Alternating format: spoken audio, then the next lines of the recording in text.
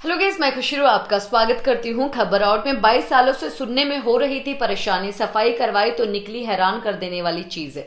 तो चलिए हम आप लोगों को बताते हैं पूरी लेटेस्ट अपडेट जो कि आप लोगों को कर देगी। काफ़ी ज़्यादा हैरान मेरे साथ लास्ट तक जुड़े रहिए।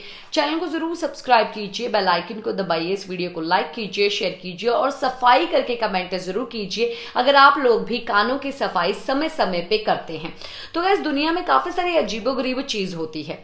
अजीबो गरीब चीज़ के बारे में सुनने के बाद हम लोग काफ़ी ज़्यादा हैरान होते हैं।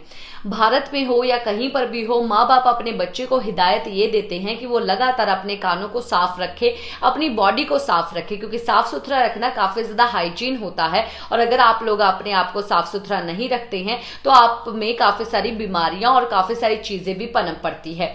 इस दौरान ही ये जो पूरा मामला है, वो एक्चुअली में बाईस साल की एक लड़की का आ रहा है। सोशल मीडिया पे इस लड़की ने इस मामले के बारे में बताया, उसने ये चीज़ बताया कि उसको सुनने में 22 साल से काफ़ी ज़्यादा प्रॉब्लम हो रही थी। और उसने 22 साल से अपने कान जो है वो साफ़ तक नहीं किए थे। और 22 साल के होने के बाद उसने सोचा कि अपने कानों का थोड़ा ट्रीटमेंट करवाया जाए, सफ़ाई करवाई जाए तो इसीलिए वो डॉक्टर के पास चली गई। क्योंकि उसको कान में साफ़ करते वक्त कुछ दिक्कतें होती थी, जिसके कारण वो कभी भी कान को साफ़ नहीं करती थी। जैसे ही वो डॉक्टर के पास गई डॉक्टर ने एक्चुअली में उसके कान में एक लिक्विड डाला सफ़ाई करने के लिए। और लिक्विड डालने के बाद उसके कान में से जब सफ़ाई की तो बहुत ही हैरान कर दे वाली चीज़ जो है वो बाहर निकली।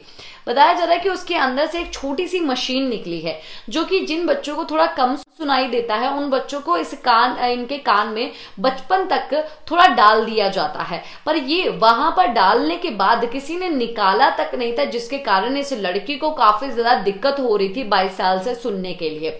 अभी उस चीज़ को निकाल दिया गया है और कान की सफ़ाई कर दी गई है और इस लड़की को कान में कोई भी अभी प्रॉब्लम नहीं हो रही है और उस मशीन के कारण ये प्रॉब्लम हो रही थी। तो अगर आप अभी अपनी कानों की सफ़ाई करते हैं तो सफ़ाई करके कमेंट ज़रूर कीजिए। इसी के साथ मैं लेती हूँ इजाज़त, नमस्कार।